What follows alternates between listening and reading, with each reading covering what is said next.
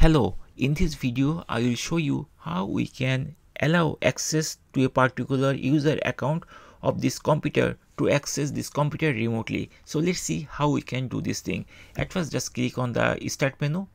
Here we need to right click and then it will bring us this type of menu. From here we have to choose settings. I'm going to click settings and the settings window will be opened from the left side we'll find accounts menu is there. I'm going to click here accounts and here if we scroll down a little bit then we'll see other users. If we click here then here we'll see all the users of this computer. Right now i'm i logged in as a few steps this user but there is another two user which is few steps 2 and me. For this video i'm going to allow remote access of this user few steps 2 so let's see how we can do this thing. So i'm going to close this window. And then again right click on this start menu.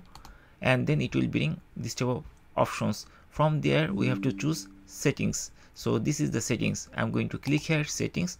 And then from the left side we have to uh, use this search box. From this search box we have to find the remote settings. So i'm going to type click here. And then i'm going to type remote so once we click remote then remote related stuffs will be there. Remote desktop settings option is there. We just need to click here and the remote desktop settings window will be appeared.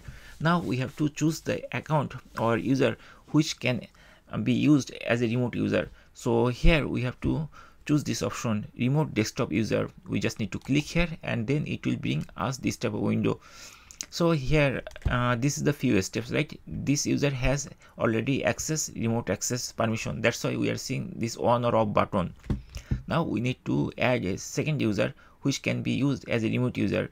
To add a new user we just need to click add icon. I i mean add button. This is the add button. So just click the add button and then it will bring this thing. Now we have to type the name of the user. So the other username which we already saw that is few steps. And that is few steps 2. Once we type it then we can check it whether this name is valid or not. We can press this button check names and if it is valid then it will give us the whole name of this uh, user. So i'm going to click this button check names and if the name is correct then it will show us the name of this user. Uh, this is few steps 2 so this is the username and the first part is the computer name. So once we have this information added then we have to press ok button and then again press ok button. And then that user account have access remotely of this windows computer. If we want to double check we can click here whether that computer has remote access or not. We can see that steps 2 has remote access permission. Okay and if we need to remove the remote access permission we can also select it and then we can use the remove button. But i am not going to use the remove button. Rather i want to test it whether this uh, remote access is usable uh, to logging this computer or not. So i am just going to press the ok button uh, to make the changes and then i'm going to close this window. Now i'm going to disconnect and i will use that steps 2 account to check whether i can access remotely of this computer or not.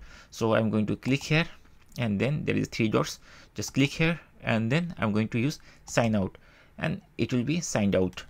Once the account is signed out then now i'm going to uh, access that computer remotely by using that username and and that user's name's password. So the username was few steps 2 and i'm going to type the password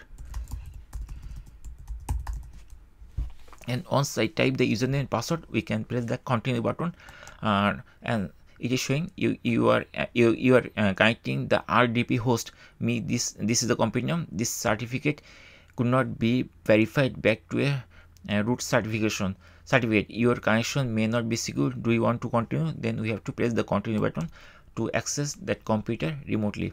And here we are seeing that it is going to logging few steps 2 which is a user of that computer. This is a new user right? Uh, i mean new user means this is the user uh, who, uh, where we put the permission to allow uh, this computer to use remotely.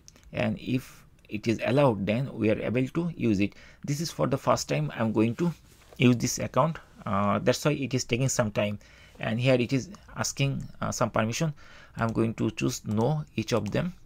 And then we are going to press the next button and then we have to press the accept button.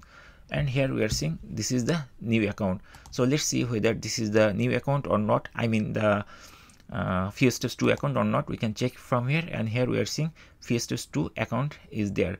So that's it guys. In this way we can easily allow the remote access. So let's verify again one more time. Right click and then choose settings. And from here we have to use settings uh, remote here. R-e-m-o-t remote and remote desktop settings. Once we click here here we will see that remote desktop uh, this is one. So connect to this connect to and use this pc from another device using the remote desktop app. By default not by default we made it uh, remote enable. That's why it is on. And here i cannot choose this thing because uh, this is not an admin account. Okay my this account is actually a standard account. That's why i'm unable to change disable this thing. If this is an admin account then i can turn it off. Okay. But here basically uh, the main goal was to show you whether we can able to uh, enable remote desktop uh, for this particular user or not. And we are able to show you that here we are able to access this computer by using uh, the user few steps 2 which is a, um, another user. This is a standard user and we uh, we access this computer remotely. That's it guys in this way. We can easily enable the remote desktop permission to a particular user on our windows 11 computer.